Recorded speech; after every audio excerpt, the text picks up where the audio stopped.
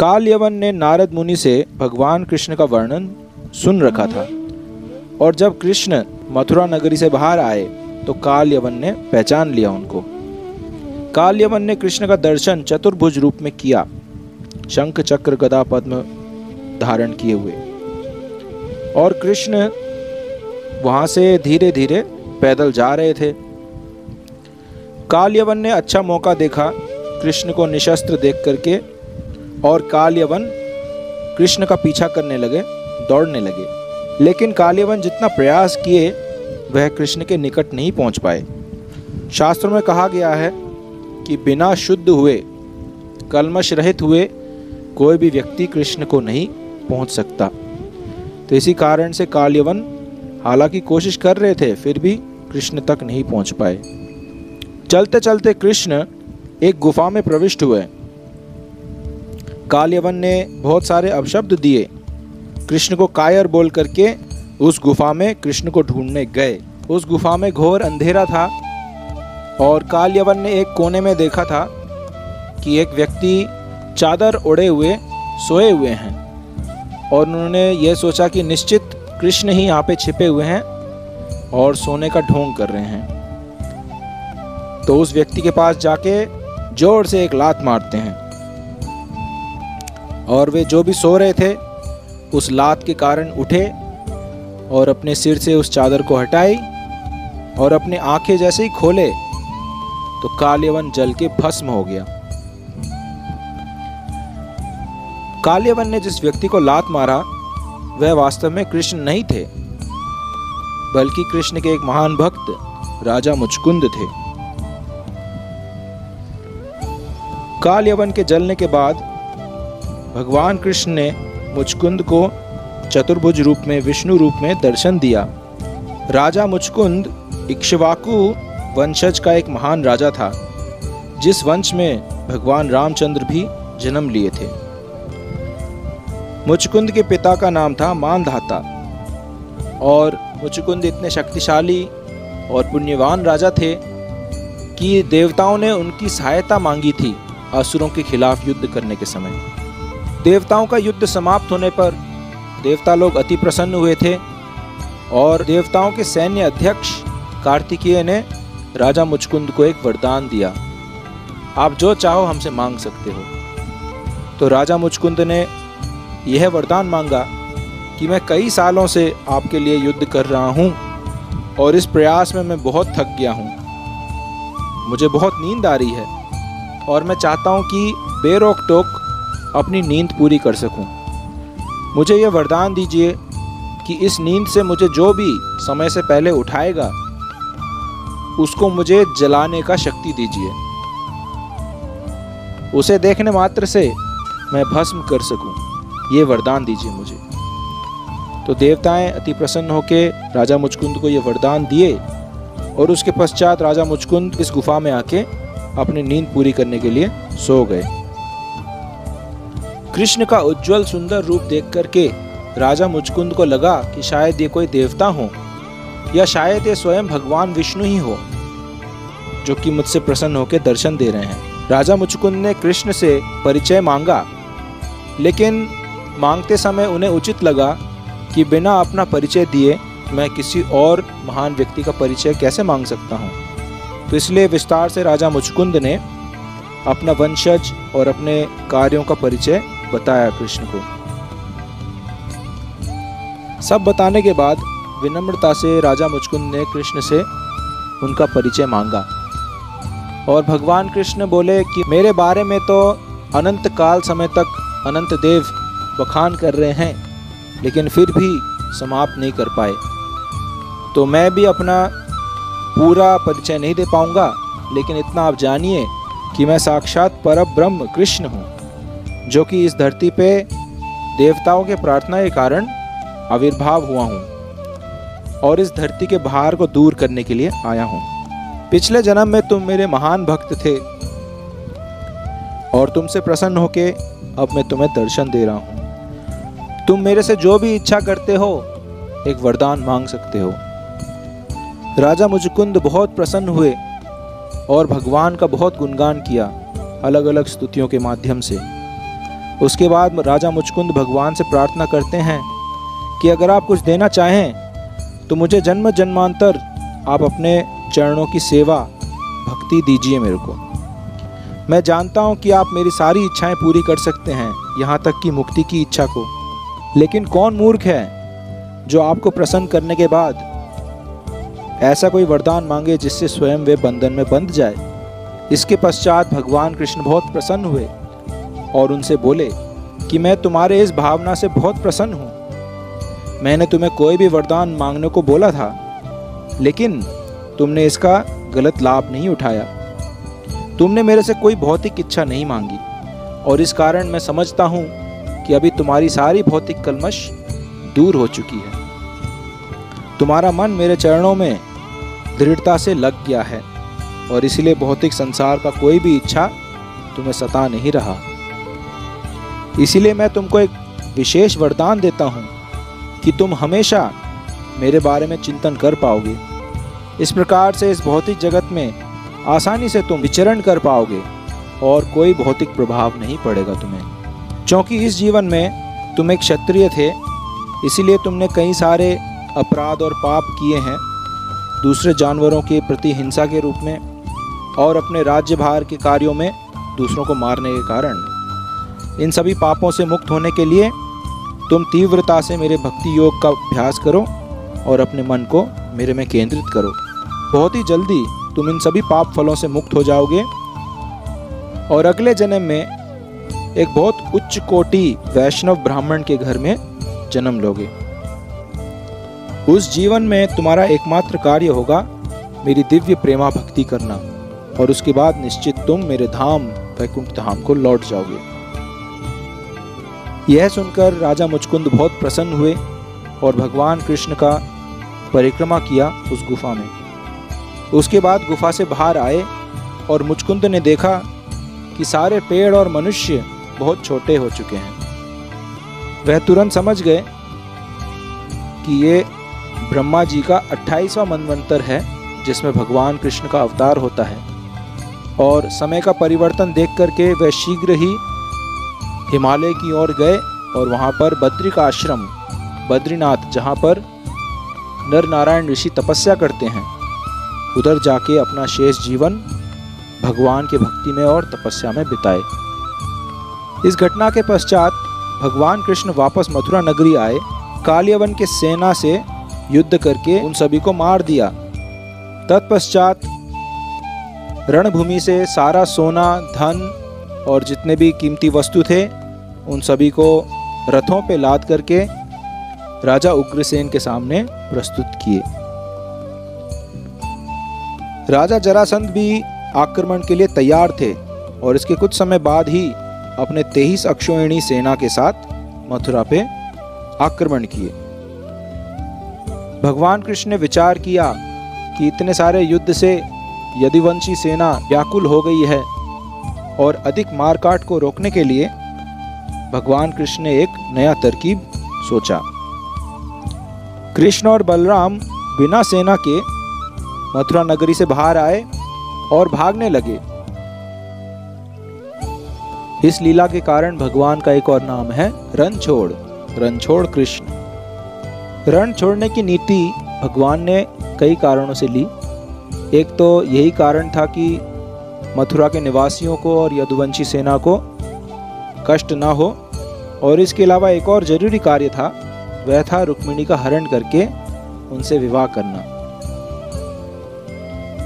इसके लिए समय बचाना चाहते थे।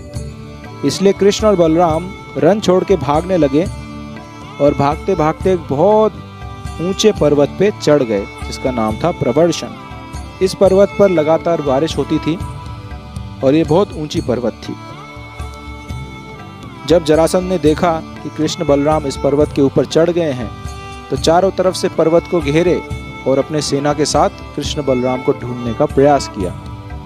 लेकिन जब कृष्ण और बलराम नहीं मिले तो पहाड़ को चारों ओर से लकड़ी से घेर करके आग लगाया और पूरा पहाड़ जलने लगा। यह सोच के कि कृष्ण और बलराम पहाड़ के ऊपर हैं और वे अग्नि में भस्म हो जाएँगे, जरासंध प्रसन्न हो गए और वापस अपने राज्य मगध को लौट गए। इस बीच में कृष्ण और बलराम उस प्रवर्शन पर्वत के चोटी से छलांग लगाए और बहुत ऊंचाई से नीचे आके सुरक्षित ज़मीन पे लौट गए। कृष्ण और बलराम वापस द्वारका नगरी आए और वहाँ पर बलराम जी का विवाह राजा रेवत के बेटी रेवती से किया गया। इसके पश्चात कृष्ण ने भी विवाह किया रुक्मिणी के साथ, जो कि राजा भीष्मक के पुत्री हैं। राजा भीष्मक के पाँच पुत्र और एक पुत्री थी। राजा भीष्मक के साथ सभी नगर निवासियों ने उचित समझा कि रुक्मिणी का विवाह कृष्ण से होना सर्वोत्कृष्ट होगा। लेकिन रुक्मिणी का सबसे बड़ा भाई, जिसका नाम था रुक्मी, वह कृष्ण को पसंद नहीं करता था। रुक्मी चाहते थे कि रुक्मिणी का शादी उनके मित्र शिशुपाल से हो। और जिद करके शिशुपाल से रुक्मिणी का विवाह तय कराया। इस विवाह से रुक्मिणी बिल्कुल भी प्रसन्न नहीं थी और उन्होंने आपातकालीन स्थिति को सुलझाने के लिए एक तरकीब सोचा। रुक्मिणी ने एक प्रेम पत्र लिखा और एक ब्राह्मण के हाथ भगवान कृष्ण को पहुँचाने का प्रयास किया। भगवान कृष्ण ने उस ब्राह्मण का आदर सत्कार के साथ स्वागत किया और उन ब्राह्मण को अपने ही सिंहासन पर बिठाए, उनके चरण धोए और उनको हर प्रकार के वस्तु प्रदान किए, स्वागत किए उनका। उसके बाद ब्राह्मण ने स्नान किया और बहुत ही अच्छे महल में विश्राम का आयोजन कराया गया। ब्राह्मण के विश्राम करते समय भगवान कृष्ण आए और बहुत विनम्रता से ब्राह्मण के चरणों को अपने गोद में रखे और उनको दबाने लगे। कृष्ण बोले, मेरे प्रिय ब्राह्मण, उम्मीद है कि धर्म पालन करते समय आपका मन शांत और सुखी है। क्या आपके राज्य में सब कुछ कुशल मंगल है? क्या वहाँ का प्रजा सुखी है? प्रजा के सुखी होने से वहाँ के राजा के बारे में पता चलता है कि वह कितने पुण्यवान हैं और कितने दक्ष हैं। यह सब पूछने के बाद ब्राह्मण ने सारी घटना बताई और रुक्मिणी का प्रेम पत्र भगवान कृष्ण को दिया। उस पत्र में रुक्मिणी ने लिखा है कि, हे कृष्ण, आपके बारे में कोई भी सुन ले तो वे सभी भौतिक इच्छाओं से मुक्त हो जाते हैं और आपको सदैव याद करते हैं। मैंने भी आपके बारे में सुना है, नारद मुनि से, और अब मैं केवल आपकी ही सेवा करना चाहती हूँ। आप सोच सकते हैं कि मैं कितना निर्लज हूँ और मैं सती नहीं हूँ, जो कि इस प्रकार एक प्रेम पत्र लिखे। लेकिन आपको जानना चाहिए, आपसे सुंदर इस जगत में और कोई नहीं है। और सभी स्त्रियाँ निश्चित आपसे आकर्षित होंगी।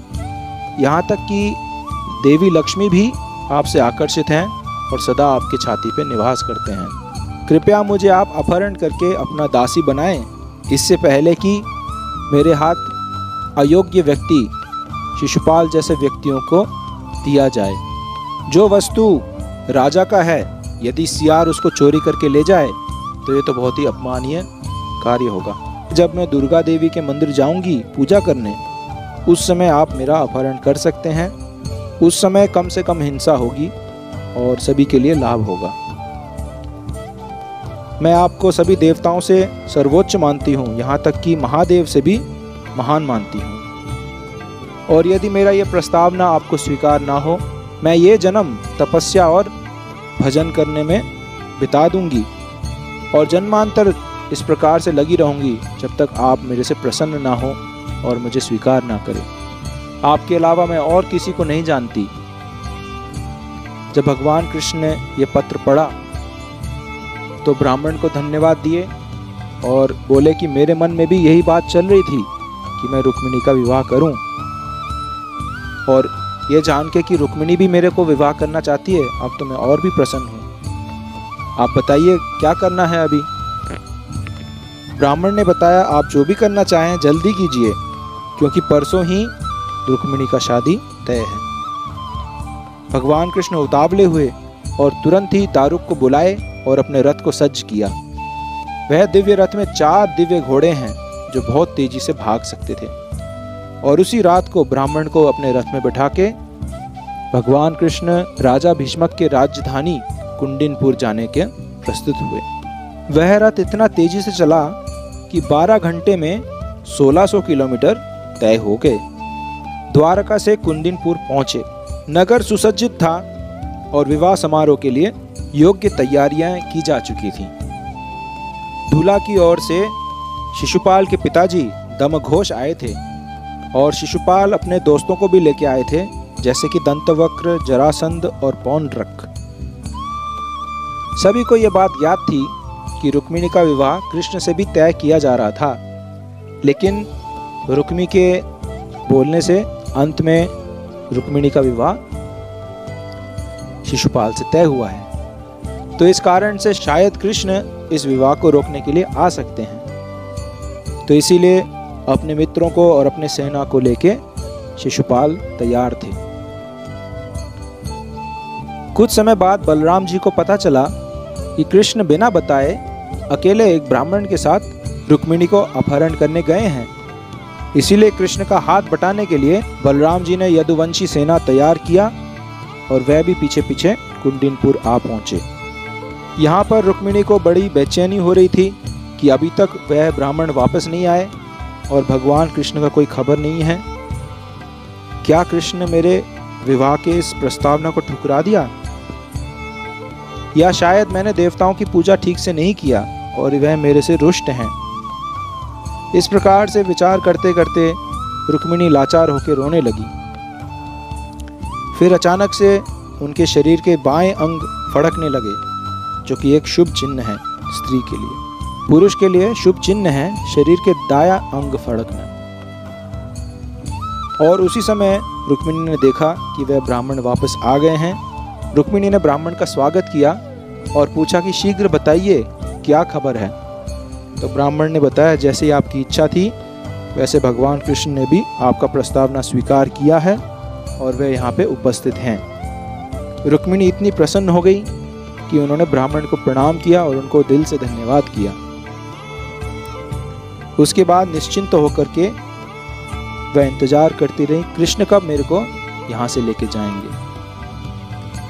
राजा भीष्मक को जब पता चला कि कृष्ण और बलराम भी आए हैं तो उन्होंने उनको ठहराया बहुत सुंदर कमरे में, एक बागान के बीच में, और उनका स्वागत किया, उनका आदर सत्कार किया।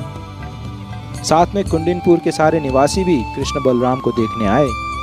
प्रेम पूर्वक उन्होंने बोला, काश आपका शादी रुक्मिणी से हो। हमें यही मंजूर है।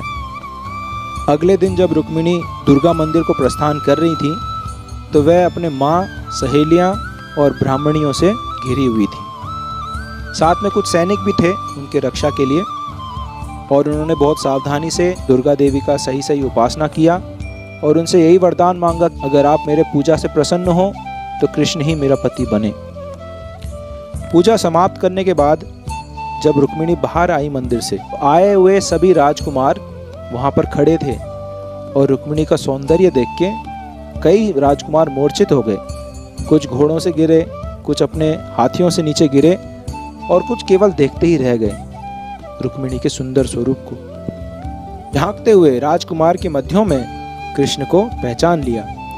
हालाँकि ये पहली बार कृष्ण को देख रही थी, लेकिन कृष्ण का विवरण सुनने से ही कृष्ण से प्रेम हो गया था। और देखते ही पहचान गई। कृष्ण ने भी बिना देरी से आगे आके रुक्मिणी को अपने रथ में बैठा के धीरे से वहाँ से जाने लगे। तब तक बाकी राजकुमार समझ नहीं पाए क्या हो रहा है। राजा जरासंध ने आवाज़ उठाई, कृष्ण को रोको और रुक्मिणी को वापस लेके आओ। सभी राजाएँ और राजकुमार को चेतना आई और वे तुरंत कृष्ण का पीछा करने का तैयारी करने लगे। इस बीच में बलराम जी नारायणी सेना को लेके उनका मार्ग रोक दिए। अब घमासान युद्ध प्रारंभ हुआ। दोनों सेनाएँ आपस में लड़ने लगी और कई सारे सैनिक घोड़े, हाथियाँ कटने लगे, खून बहने लगा और बहुत घमासान युद्ध हुआ। धीरे धीरे बलराम जी विजय होने लगे और शिशुपाल की सेना कमज़ोर होती गई। सभी राजाओं ने उचित माना, बिना कारण से अपना सेना खोने के कोई लाभ नहीं है। इसीलिए शिशुपाल को आगे किया कि तुम ही कृष्ण से लड़ो और अपने होने वाले पत्नी को बचा के लेके आओ। शिशुपाल अपने सेना को लेके कृष्ण का पीछा किए, लेकिन वे भी परास्त हो गए और इस प्रकार से युद्ध समाप्त हो गया। बाकी राजकुमारों ने शिशुपाल को सांत्वना दिया कि भाग्य के अनुसार कभी कभी कुछ होता है, लेकिन चिंता मत करो, उम्मीद रखते हैं कि आगे सब कुछ ठीक होगा। सब कुछ हो जाने के बाद, रुक्मिणी का भाई रुक्मी बहुत ही क्रोधित हुआ और सबका धिक्कार किया। तुम लोग सब मिलके मेरे बहन को बचा के नहीं ला सके। धिक्कार है तुम सब पर। मैं खुद जाऊँगा और अपने बहन रुक्मिणी को वापस लेके आऊँगा। और यदि मैं ऐसा करने में असफल रहा तो मैं अपना चेहरा यहाँ दोबारा नहीं दिखाऊँगा कभी। ये मेरा वादा है।